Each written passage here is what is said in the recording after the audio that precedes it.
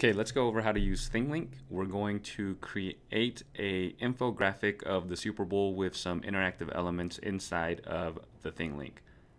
I'm currently logged in. I'm going to choose an image to use as my backdrop. Notice you can upload, you can use a web address, you can import a Facebook picture, or you can use public images from Flickr. Click on that blue button, and I already have a image file that I've saved on my desktop. SB for Super Bowl. I'm going to click open.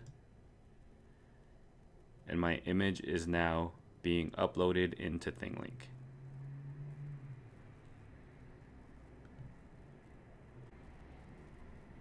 The image is now in ThingLink. The title is my interactive image, so let's go ahead and click on the top and rename it.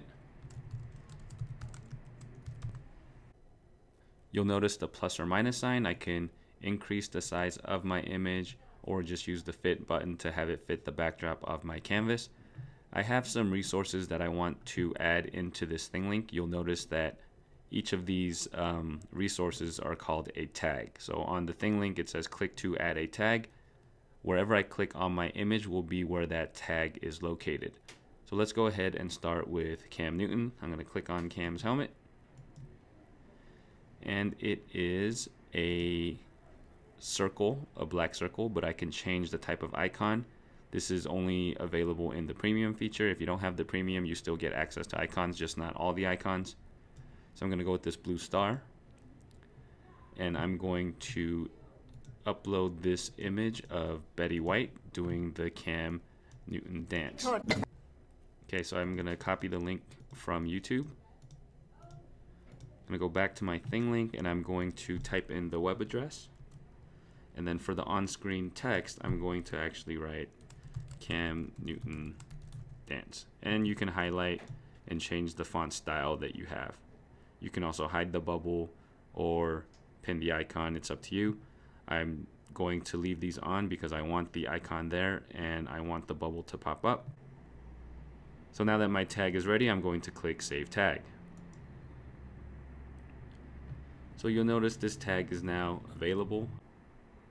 I can rearrange it just by clicking on the tag and dragging with my mouse. I'm going to leave it on the helmet. Let's go ahead and add another tag. This time let's add a tag for Peyton Manning. So I'm going to click on his helmet. I'm going to change the icon. I'm going to go to this article that um, was written on ESPN. I'm going to click on the article, copy the link, go back to my ThingLink, paste the link, title it ESPN article.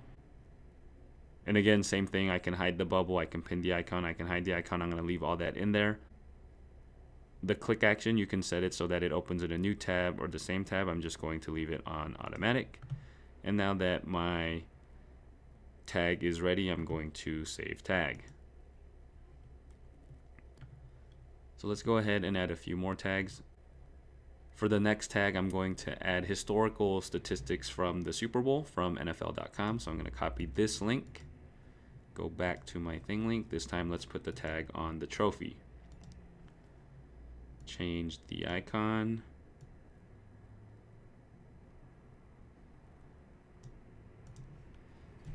Paste the web address and then text historical stats. For this one let's actually pin the icon. And if you're not sure what it, that means that means the icon is always visible to the user. So some of these icons won't be visible until the user hover over that area but for this one let's have it always visible. And then let's save the tag So we're going to add uh, two more tags. One is going to be a YouTube video. This is a short documentary on Cam Newton, so I'm going to copy that. Let's add another icon right there. Let's change the icon. Paste the link.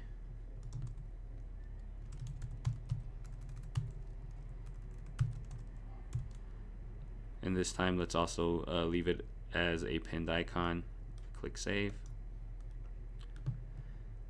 And the last one is a short biography on Peyton Manning. So again, copy the link, click somewhere that you want to add this tag, paste the link,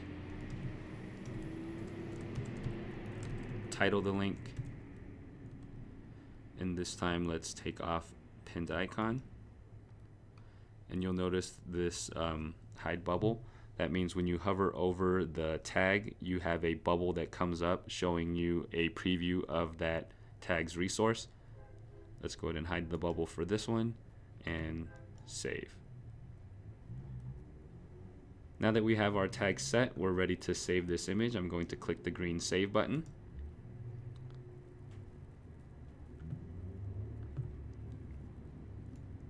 And you can see these tags. So when I hover over this one, you have the ESPN article. When I hover over this one, you have the historical stats. When I hover over this, you actually see a preview of the video. Same thing right here.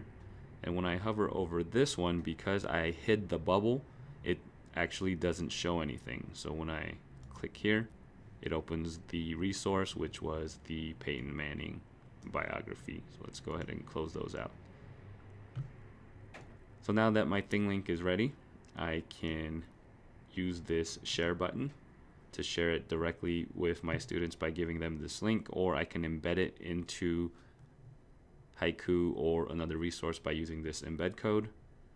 And I can also click post, which provides me with a individual channel for my account. So all the ThingLinks that I create will post to that channel. So that is how you create with ThingLink. And if I ever want to add or remove tags, I can just click this pencil and go back and edit this ThingLink. So that's how you create with ThingLink and share it out with your students.